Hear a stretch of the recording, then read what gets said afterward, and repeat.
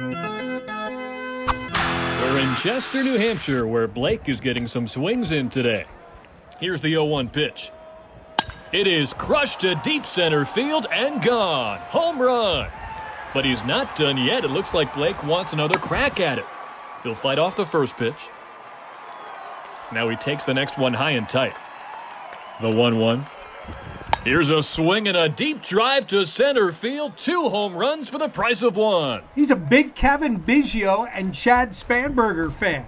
So, how's this for left handed power? This ball's a home run in almost every Eastern League ballpark. Now, how about this, Bob? He's got skills in the field as well. Hear me out. Blake turns seven next month. Is it too soon to start scouting this kid?